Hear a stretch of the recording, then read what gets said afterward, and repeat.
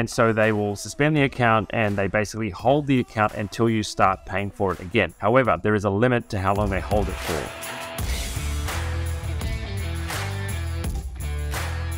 On my older account, I stopped for some time paying for it. So after I stopped paying for it, it stopped working. How can I use it? Okay, well, if you have a Google account and you've stopped paying for it, either accidentally or on purpose, your Google account will eventually move into a suspended mode. Google kind of put it in limbo. And so they will suspend the account and they basically hold the account until you start paying for it again. However, there is a limit to how long they hold it for.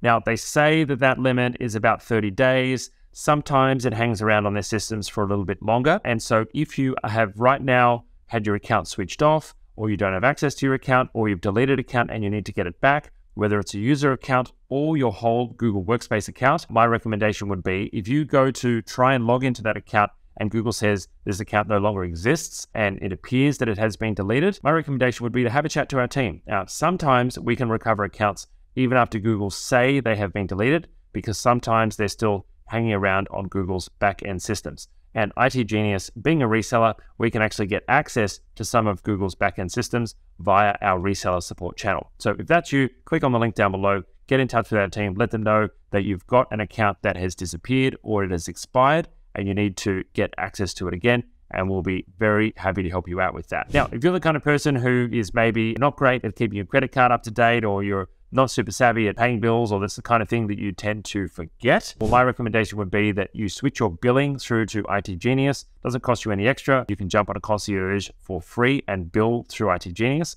And what that means is before we switch off your account, we're going to be calling you, we're going to be texting you, we're going to be emailing you, and we're going to be doing everything we can to get in touch with you before we switch off your account. Because Google have no mercy. You don't pay, boom, your account switched right off. We have a very friendly accounts department who will be doing everything they can to get in touch with you before they, yes, inevitably switch you off if, if you don't respond to us for a number of weeks, but we're going to be a little bit more lenient with your account. And so if that's something that's of interest to you, jump onto the link down below. You can transfer your billing into us by joining Concierge for free. If you like this content, please hit subscribe and hit the bell notification so you can be notified when we go live or drop new content on the channel. Now, if you'd like to connect with us, hit us up on social media or join our free community group. All the links to that are right below this video.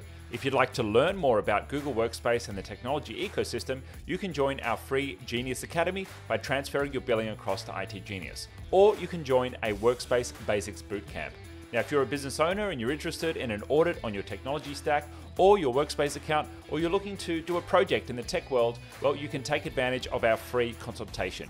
And if you need help right now, then consider joining Concierge or taking up a quick fix with our team for professional support for your tech stack.